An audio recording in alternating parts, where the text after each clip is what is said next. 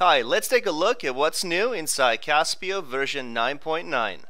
In this release, we have redesigned the overview screen to include a new tips section, which will guide the users to creating their applications. The tips section is dynamic and it will change based on your application progress. For example, once you publish your data pages, this section will automatically disappear. We're also including the application snapshot that will display useful information about your applications.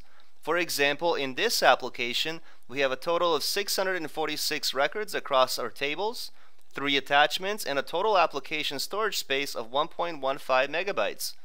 As you add additional objects and entries inside your tables, these numbers will automatically reflect those changes. Below the useful information, you will also find quick links to create or manage the application's objects. The second feature that we are very excited to introduce is the all-new Triggered Actions. Triggered Actions has a drag and drop visual interface that's used to define application logic. With this feature, we can now perform additional data changes on the same table and other tables. To do so, you will need to configure the functions on the left side. The actions is the initial starting point to building triggers based on insert, delete, and update.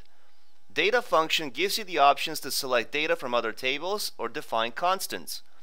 Logic allows for comparison types and logical operators to create workflows and filters. Text function allows for string manipulation such as search and replace, concatenation, trimming, and static text. Number function deals with math operations such as simple arithmetic, random numbers, and static numbers. And date can be used for date manipulation such as timestamps, date difference, and static dates.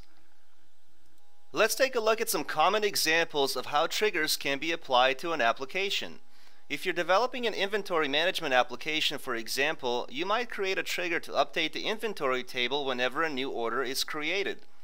You might also create a trigger to calculate the price of the order based on the quantity multiplied by the cost per unit.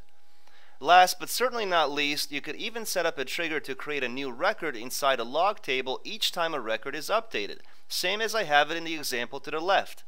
This trigger creates an entry inside the log table when a new customer is added to the customer table.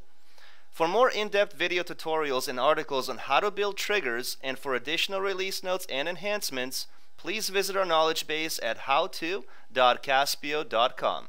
Thank you for watching and we hope you enjoyed the latest features.